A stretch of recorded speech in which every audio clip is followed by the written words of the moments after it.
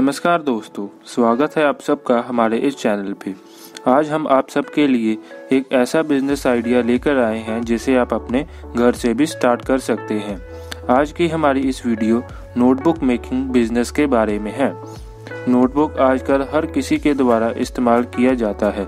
इसे आप अलग अलग सब्जेक्ट्स अगर आप स्टडी के बारे में बात करें तो आप इसे single line three line five line अलग अलग टाइप की आप बना सकते हैं।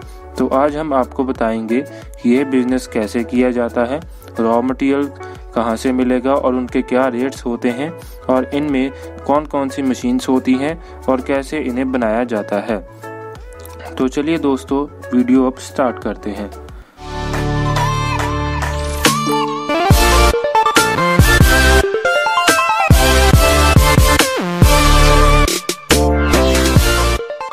दोस्तों, आपने अगर हमारा चैनल अभी तक सब्सक्राइब नहीं किया है तो प्लीज़ प्लीज़ सब्सक्राइब कर लें और बगल वाले घंटे को भी दबा दें, क्योंकि हम लाते रहते हैं नए नए बिज़नेस आइडियाज़ और नई नई जानकारी केवल आपके लिए। सबसे पहले हम जानते हैं कि इस बिज़नेस के लिए कौन कौन सी मशीन्स की ज़रूरत होती है। दोस्तों, वैसे तो इसमें आपको तीन मशीन्स की आवश्यकता होती है। आप एक और मशीन जिसे कि पैकिंग मशीन कहते हैं, वो भी ले सकते हैं अपनी नोटबुक की क्वालिटी बढ़ाने के लिए। तो इन तीन मशीनों में आती है सबसे पहले स्टिचिंग मशीन, जिसे कहा जाता है पिन लगाने वाली मशीन। इसमें आपको टाइटल, जो कि नोटबुक के बाहर वाला हिस्सा होता है, और उसके नीचे जो पेपर लगा होता है, आपस में जोड़ने के लिए स्टिचिंग मशीन का इस्तेमाल किया जाता है। उसके बाद उन दोनों को सफ़ाई करने के लिए आपको एज स्क्वेयरिंग मशीन की ज़रूरत होती है, जिसमें पीछे की जो राउंड कॉर्नर होती है, उसे स्केयर में किया जाता है और एंड में फिनिशिंग लाने के लिए पेपर कटिंग मशीन्स की ज़रूरत होती है। तो चलिए अब देखते हैं कि कैसे नोटबुक बनाई जाती है और इनके प्रोसेस के बारे में जानते हैं। सबसे पहले नोट पेपर को स्टिचिंग मशीन से स्टेपल किया जाता है, जिसमें पेपर को नीचे रखकर ऊपर टाइटल को रखा जाता है। उसके बाद एज स्क्वेयरिंग मशीन्स में स्टेपल की हुई नोटबुक्स को उसके बाद एज स्क्वेयरिंग मशीन में ले जाया जाता है, जहाँ पर नोटबुक के पीछे से राउंड कॉर्नर को स्क्वेयर में किया जाता है, जिससे उसकी क्वालिटी अच्छी हो जाती है। एज स्क्वेयरिंग में डालने के बाद जो फाइनल में आपका प्रोसेस आता है, वो आता है पेपर कटिंग मशीन में। पेपर कटिंग मशीन से जो आपका बाहर में थोड़ा सा वेस्ट पेपर होता है, उसकी कटिंग की जाती है, जिसके आपकी नोटबुक की क्वालिटी अच्छी हो जाती है।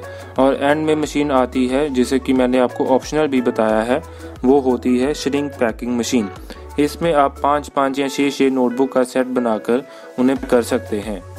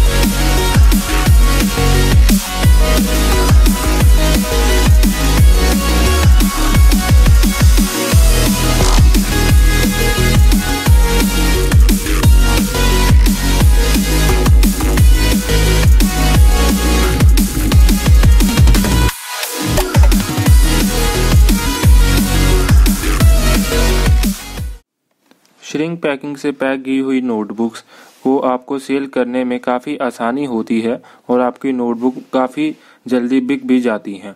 तो दोस्तों, इसके बाद आपकी नोटबुक पूरी तरह से तैयार हो जाती है। तो अब बात आती है इसे मार्केट में सेल करने की। नोटबुक की मार्केटिंग करने के लिए आप आसपास की होलसेलर की शॉप्स या रिटेलर की शॉप्स या फिर इन्हें ऑनलाइन भी बेच सकते हैं। अगर आप बात करें इन मशीन्स के रेट की तो आप मशीन के रेट स्क्रीन पे दिए गए नंबर्स पर कांटेक्ट करके उनसे आप मशीन्स खरीद सकते हैं और मशीन्स की डिटेल भी उन्हीं से ही आप इकट्ठा कर सकते हैं। तो दोस्तों, अब बात कर लेते हैं नोटबुक के रॉ मटेरियल की।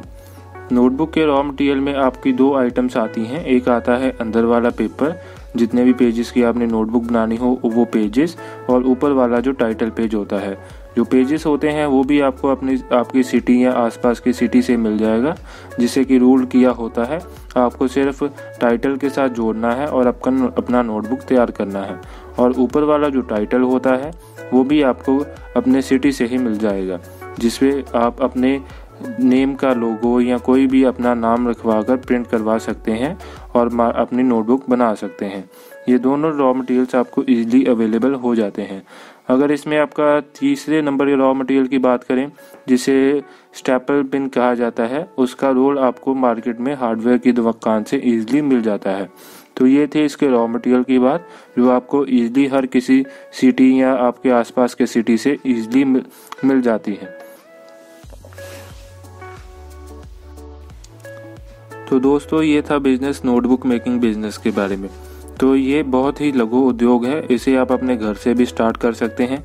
ये जो मशीनरी है, ये आपके घर की लाइट पर भी चल जाती है।